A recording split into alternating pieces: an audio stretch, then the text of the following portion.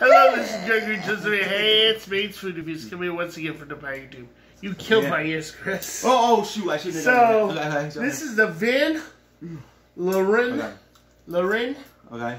uh, Earl Grey Tea, guys. Yeah.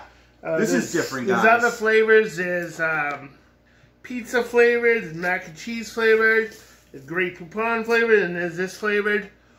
Yeah. It smells like tea in it. Yeah, and Yeah. then there's a couple other flavors. Yeah.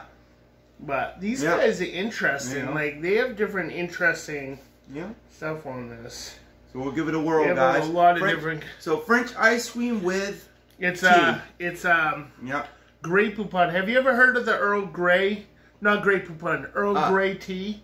No, It's pretty good. never heard of that kind. Yeah. So we're gonna give it first whirl.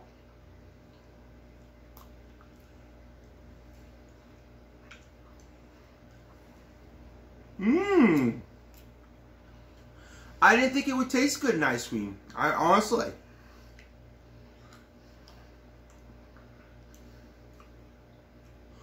I'm I'm gonna give this a ten.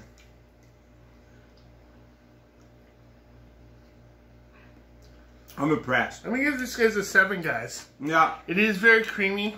Oh. Doesn't That's have why I too- give it a ten. I had to give it a ten. doesn't have too much um, taste of tea to me, but Mm. it definitely tastes really creamy.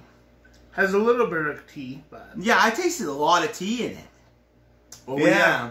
everyone has Yeah, different everybody taste says Yeah, but anyways, I give it a ten.